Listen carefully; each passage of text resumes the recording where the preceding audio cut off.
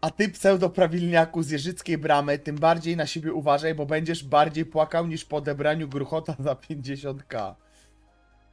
Trzymajcie się tam za swoje rączki, jebane pet... Tutaj jest niedokończone. Bo będzie ostra jadka, tak jak rażenie się prądem na konferencji. Podpisano ekipa z Żyrardowa.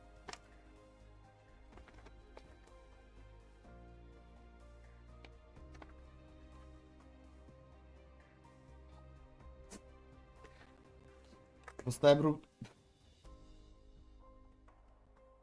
Wysłano mi wiadomość.